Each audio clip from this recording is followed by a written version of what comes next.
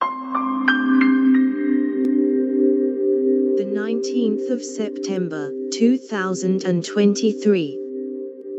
Alina of the Arena, roguelike deck building tactics game, heading to Switch.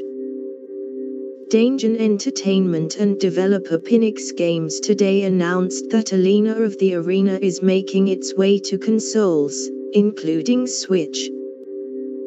Fans can expect it by the end of 2023. Alina of the Arena is roguelike deck building tactics game that takes inspiration from Slay the Spire and Into the Breach. Further details are available in the following overview. Alina of the Post Alina of the Arena, roguelike deck building tactics game, heading to Switch appeared first on Nintendo Everything.